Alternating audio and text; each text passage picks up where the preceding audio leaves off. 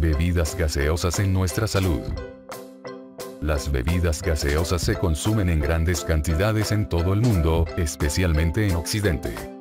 Su gran consumo debe principalmente a la inmensa campaña promocional que las industrias imponen en la sociedad y al desconocimiento por parte de esa sociedad de los efectos adversos que trae el consumo de estas bebidas para nuestro organismo. Sabrosas como son las bebidas carbonatadas, se debe conocer el efecto de sus ingredientes y no permitir que esta bebida reemplace nutrientes naturales de una dieta, dado que puede tener efectos sobre nuestra salud. Características de los ingredientes principales utilizados en la elaboración de las bebidas gaseosas. ¿Qué efectos producen las bebidas gaseosas en la salud? Obesidad. Las bebidas gaseosas tienen grandes cantidades de azúcar refinada, sucrosa y almíbar de maíz de alta fructosa. La fructosa afecta los niveles en sangre de hormonas como la insulina, leptina, hormona que inhibe el apetito, y grelina, hormona que estimula el hambre. De acuerdo a varios estudios, debido al efecto de la fructosa sobre las hormonas, el consumo prolongado de productos con mucha energía proveniente de la fructosa juega un rol fundamental en la ganancia de peso y la obesidad. Tener sobrepeso o obesidad aumenta el riesgo de diabetes, problemas cardíacos, infarto, cáncer y otras enfermedades y causa problemas sociales y psicológicos. Tiempo atrás la diabetes tipo 2 era una enfermedad propia del adulto, pero hoy en día, lamentablemente, hay niños y adolescentes que la padecen.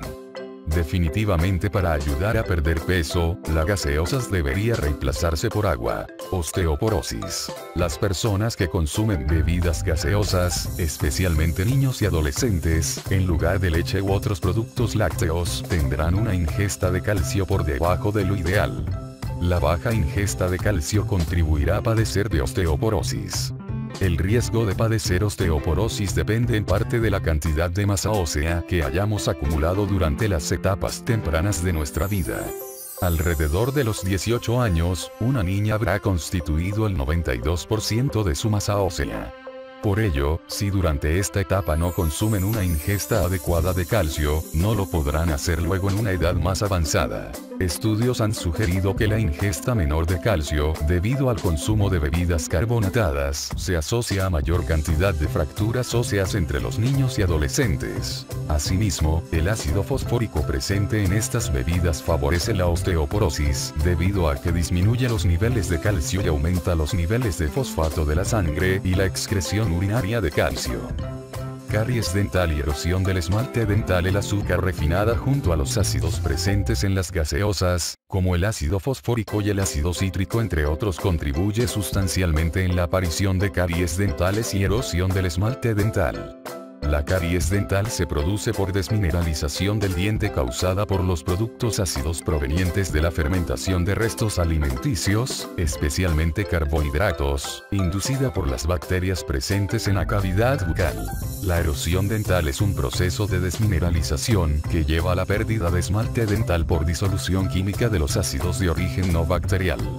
En este caso las bacterias no están involucradas, sino que la exposición reiterada a los ácidos de las gaseosas no dietéticas y dietéticas y alimentos, aumenta la solubilidad de los tejidos duros del diente. Enfermedades cardíacas. Las dietas con altas cantidades de azúcar pueden contribuir a desarrollar enfermedades cardíacas en personas que tienen el síndrome X o síndrome metabólico.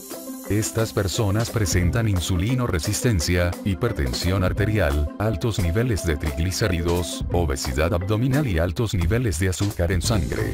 Alteraciones renales. Diversos estudios han comprobado que las bebidas gaseosas tienen el potencial de aumentar el riesgo de desarrollar cálculos renales. Como hemos visto las gaseosas contienen ácido fosfórico.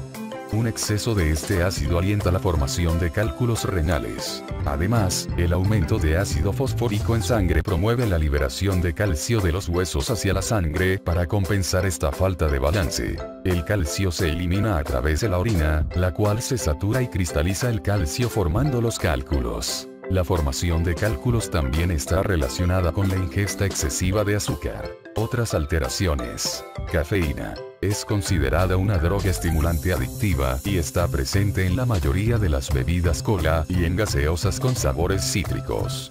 La adicción a la cafeína sería una de las razones de por qué las bebidas gaseosas más populares la tienen presente entre sus ingredientes. Las grandes industrias de bebidas dicen que solo agregan cafeína para dar sabor a las bebidas.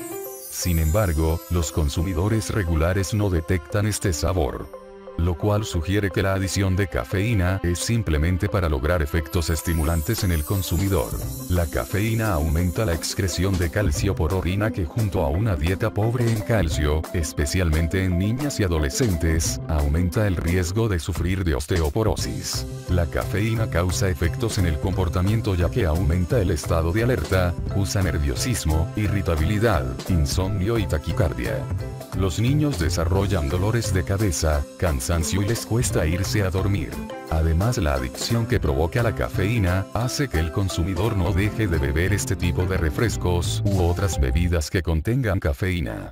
Existen estudios que han demostrado que la cafeína presente en dos o tres latas de gaseosas por día es suficiente para producir dependencia física.